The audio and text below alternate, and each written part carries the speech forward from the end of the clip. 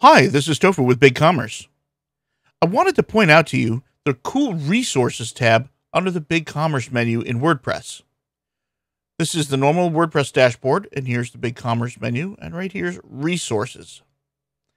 The first resources available are these themes.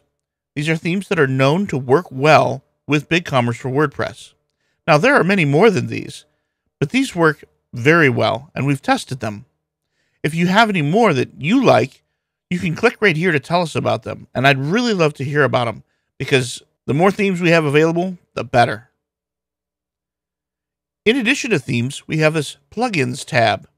And these are plugins that have specifically built in BigCommerce for WordPress support.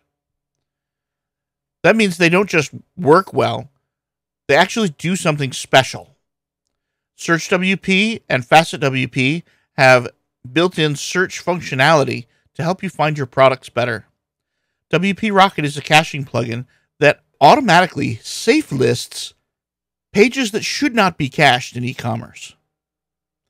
And then WP Draw Attention is a great plugin for showcasing your products in a unique way. In addition to themes and plugins for WordPress, we have apps on the BigCommerce side. QuickBooks and Xero are really great accounting plugins that integrate tightly with the backend of BigCommerce. There are many, many others, and if you have some that you find to work well with BigCommerce or WordPress, again, we'd love to hear about it. Please let us know your success. We have a tab here for support links.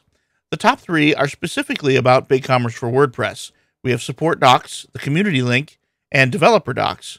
And then the next three are a little more BigCommerce specific.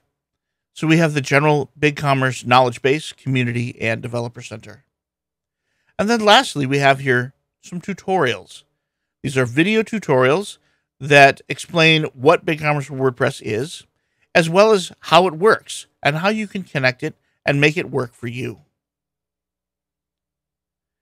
If you know of any other hmm. resources that we should have in this area, please let us know in the comments below. And if this video has been useful to you, please click the thumbs up right below it.